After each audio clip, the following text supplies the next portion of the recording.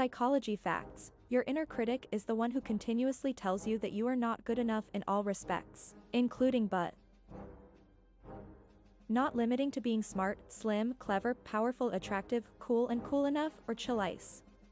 You cannot become what you desire. The ego is not purposely evil to be clear. It is not trying to hurt you. The fact that your ego keeps you disconnected from reality is one of the main reasons it is adversary.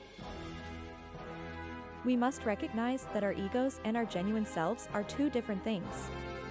You must keep in mind that the ego is only founded on fear and nothing else. The ego, driven by fear, thinks that tearing you down will shield you from failure, shame, discomfort, and misery.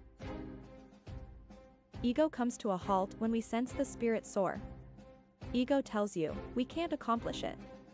Ego is unhealthful sense of self-importance.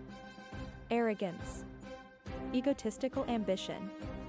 Ego causes you to believe that your previous efforts have certain result, such as job offer, a promotion, or sporting victory. Defend yourself by focusing on your own efforts, not the outcomes. Help or assist others to be successful. Let go of strict narratives.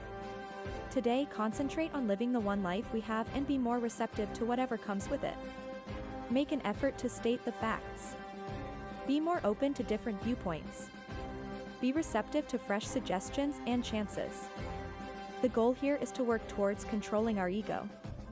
Failures and changes can happen, instead of feeling ashamed or embarrassed, they can allow themselves to learn from them.